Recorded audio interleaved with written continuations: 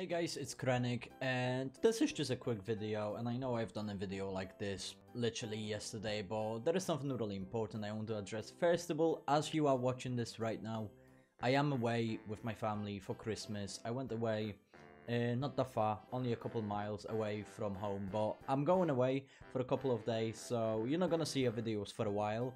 Uh, but I already have a recorded video, and I will uh, I will be uploading it pretty soon. It's a stream highlight. I had a lot of fun. I laughed a lot, so I hope you're gonna uh, watch this once I actually post it in the upcoming days.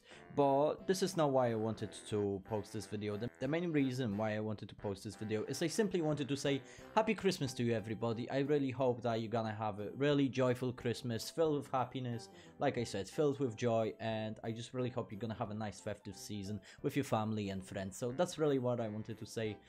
Uh, I know Christmas is a really special time for everybody, and I know some people uh, are not as unfortunate as us and don't really have a good Christmas like we have. So, like, I just want to ask you a big favor. Please be a little bit charitable this festive season. I know 2020 wasn't necessarily a good year, we had pandemic, everybody was really negative about 2020.